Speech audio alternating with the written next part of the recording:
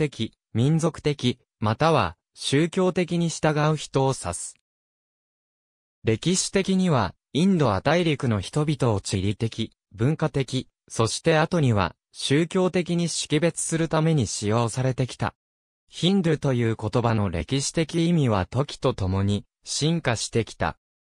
ペルシャとギリシャが西暦前1000年のインダス地域に言及したことから始まった。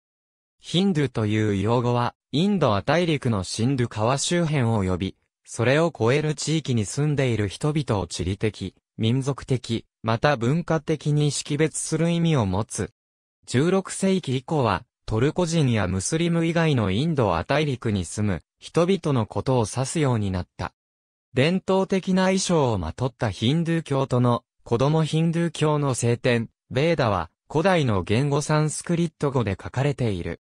しかし現在のインド人はサンスクリット語ではなく各地の言語で生活しており、インドは多言語国家である。インド憲法で公式に認められた公用語は23言語、他に準公用語の英語がある。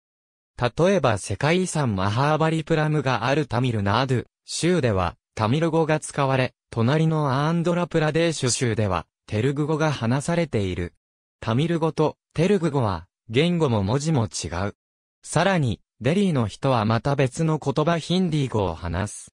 よって、ヒンドゥー教を様々な言語を話す人々に信仰されている宗教であるということも可能である。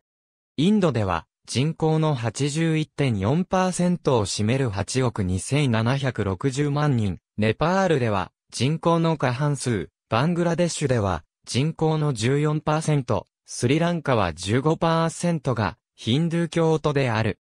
インドネシアのバリ島では、人口の約9割がバリヒンドゥーと呼ばれる独自の集合宗教を報じ、マレーシア、シンガポールにも相当数のインド系住民に信仰されている。世界全体での信者数を比較してみると、ヒンドゥー教徒は仏教徒よりも多くなる。